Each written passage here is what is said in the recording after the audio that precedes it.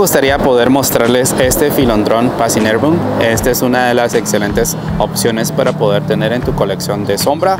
La razón es porque le gusta mucho lo que viene siendo las áreas donde tú lo llegues a colocar pero eh, para llegar a tener los colores como los vemos aquí que tienen un poquito de lo que viene siendo verde claro es que le tienen que pegar algunos rayos de lo que es el sol la razón es que no es exactamente de lo que es de sol directo ya que en sí es una planta que va a crecer muy adecuadamente si la colocamos en lo que viene siendo en las áreas donde le pegue lo que viene siendo poco el sol el sustrato que se necesita para poder tenerlo adecuadamente es como si ustedes pudieran ver en este momento tiene sustrato de coco. Lo que es el sustrato de coco podemos utilizarlo de dos maneras. El sustrato de coco eh, en lo que es triturado o el sustrato de coco lo que viene siendo cáscara gruesa. Junto con ello también lo que viene siendo el tipo de riego que esta planta necesita es un riego pues casi cada cuatro días. La razón es que yo lo riego cada este tiempo porque tiene mucha humedad porque como no le pega tanto lo que viene siendo lo que es el sol directo, la tierra se va a permanecer un poco más húmeda que otras plantas.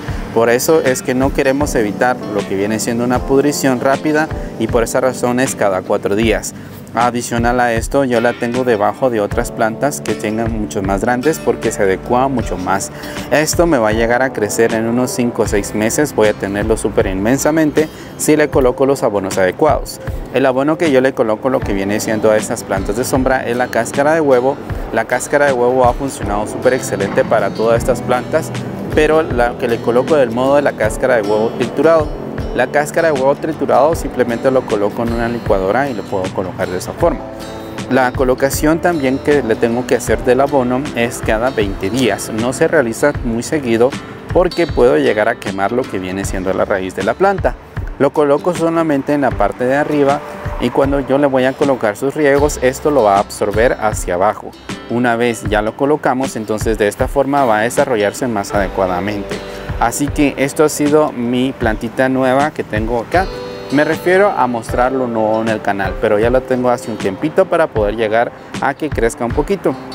Acá si ustedes pueden ver también, van a ver que una ya finalizó y me está sacando nuevas hojitas. Eso me encanta. Eso quiere decir que se está recuperando a la forma que yo lo compré, que le hacía falta muchas, muchas vitaminas. Ahora la tengo mucho más sana.